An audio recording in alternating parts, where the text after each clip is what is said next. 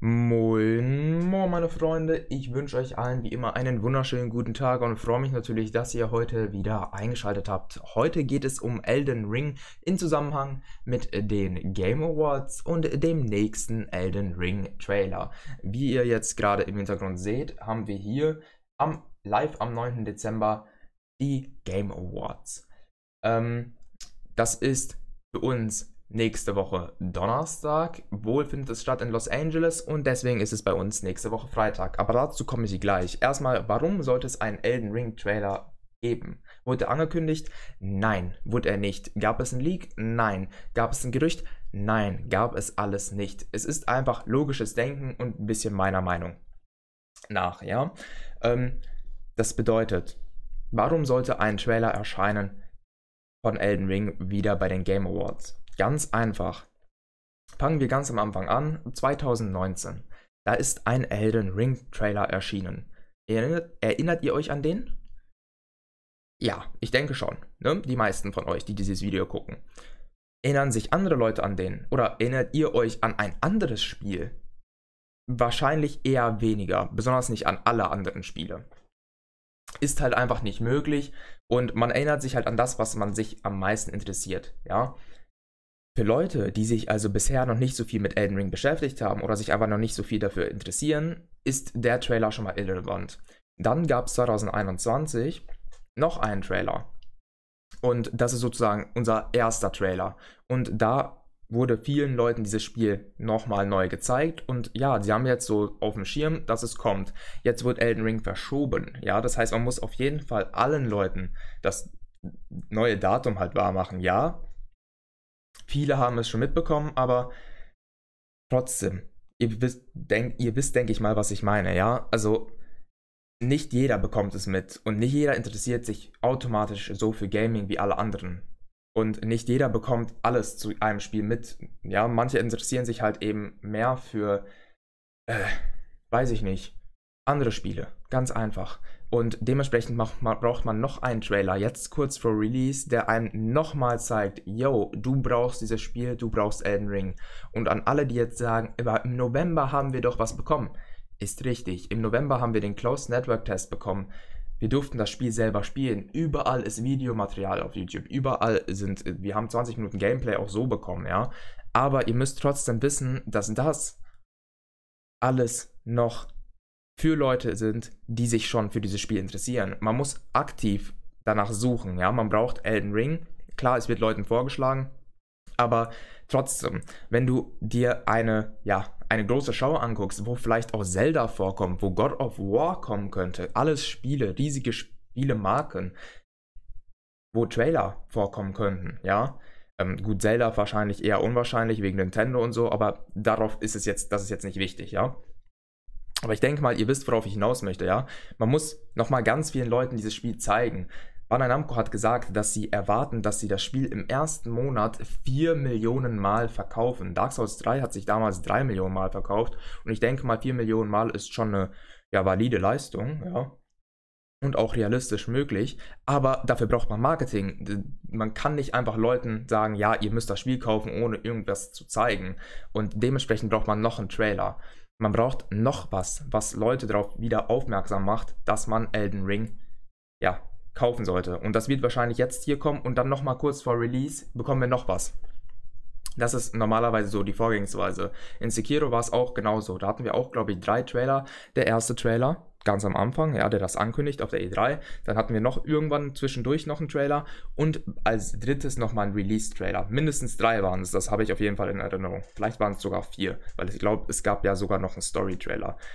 Weiß ich jetzt aber gerade nicht hundertprozentig auswendig. Jetzt als Beispiel halt fürs letzte Spiel. Und für Elden Ring haben wir halt erst zwei. Und das passt einfach nicht. Wir brauchen noch einen Trailer. Ganz einfach, ich denke, ihr habt es alle verstanden. Wir werden höchstwahrscheinlich 2021 jetzt den nächsten Trailer bekommen. Und zwar am 9. Dezember.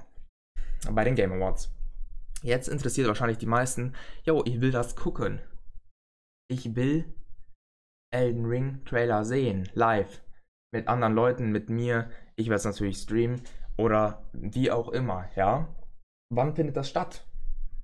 Ganz einfach, wir gehen auf Watch ähm, hier haben wir eine Uhrzeit, bla bla, will ich jetzt alles nicht durchgehen. tada!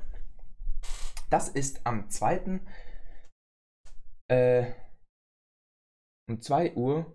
Wait, ich bin gerade ein bisschen verwirrt. 2 Uhr Wednesday? Ah, ich bin durcheinander gekommen mit den Dings. Es ist nicht am Donnerstag, sorry, es ist am Dienstag. My bad. Es findet am Dienstag statt. Bei uns in Deutschland, aber am Mittwoch. Bin durcheinander gekommen. Also, es findet am äh, Dienstag statt in Amerika um 8 Uhr abends und dementsprechend findet es bei uns um 2 Uhr morgens am Mittwoch statt, am 10. Ja, ähm, ist glaube ich alles richtig. Ne? Ich bin, habe ich falsch geguckt? Echt? So stark? Sekunde. Dezember. Irgendwas stimmt nicht. Wait. Sekunde. Ich kann mal meine Kamera wegschieben. Jetzt könnt ihr mal kurz mit mir gucken. Ich bin gerade verwirrt. Irgendwas stimmt nämlich nicht. Der 9. ist auf jeden Fall ein Donnerstag. Das war schon richtig. Ähm, warum ist 8 pm ET 2 Uhr am.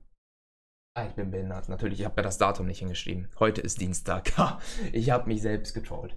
Okay, alles richtig. Ich habe ich hab nichts, weil alles ist richtig. Die Uhr, das hier ist ja absolut nicht relevant. Sorry. Also, alles richtig. Freitag 2 Uhr morgens. Von, von mir aus auch Donnerstag Nacht oder Freitagmorgen, wie ihr es möchtet. 2 Uhr morgens. Ähm, ich werde es natürlich streamen. Ich werde es mir anschauen, ob es kommt, ob ein Elden Ring Trailer kommt oder nicht. Aber es werden ganz viele coole neue Spiele vorgestellt. Das ist normalerweise bei den Game Awards so. Und noch ein wichtiges Argument, wenn ihr jetzt noch bis hierhin durchgehalten habt, dann bekommt ihr es auch noch mit. Geoff Cayley hält auch noch die Game Awards. Wer ist Geoff Cayley? Er ist dieselbe Person, die uns 2021 jetzt im Juni den ersten Elden Ring Trailer präsentiert hat. Oder den zweiten, wie man es möchte. Also das erste Mal, dass Elden Ring wieder aufgetaucht ist. Und er hat extrem viel Hype mit aufgebaut. Und es kann nämlich ziemlich gut sein, dass Bandai Namco weiterhin zusammen mit ihm das Marketing für Elden Ring macht, sozusagen. Ich möchte jetzt nicht sagen, dass er irgendwie da zusammenarbeitet, bla bla bla, aber es kann sein, dass aber auf seinem Event, ja, ähm, Elden Ring aber wieder auftaucht. Und Elden Ring war schon letztes Jahr, hat dort Most Anticipated Game gewonnen, ja. Deswegen will ich hier nochmal auf dieses Voting gehen. Und zwar könnt ihr, warum, warum, danke Windows, so, ähm, und zwar könnt ihr hier für Game of the Year voten und bla bla bla bla bla. Ich habe hier alles schon durchgevotet. Auf einem anderen Account, wie es aussieht. Also kann ich nochmal voten.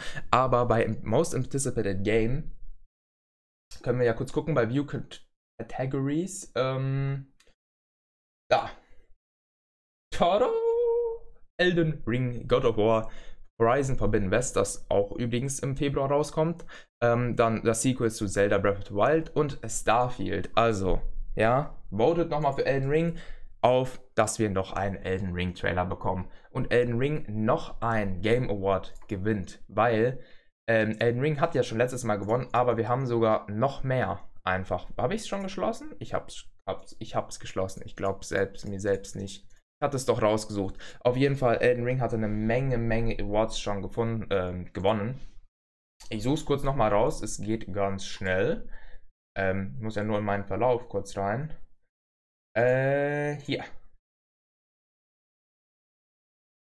Ja, hab's gefunden. Also, wir haben einmal gewonnen. Most Anticipated Game 2020, Best Action Adventure Game, Best RPG, Best Sony PlayStation Game und Best of Gamescom.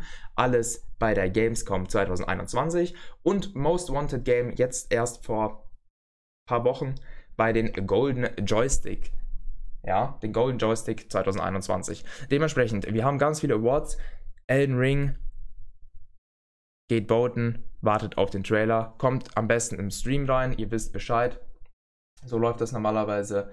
Ähm, ja, sonst würde ich euch allen sagen, ähm, das war's dieses Mal. Wir werden sehr wahrscheinlich am 9. Dezember einen neuen Trailer zu Elden Ring bekommen. Ich gehe sehr stark davon aus.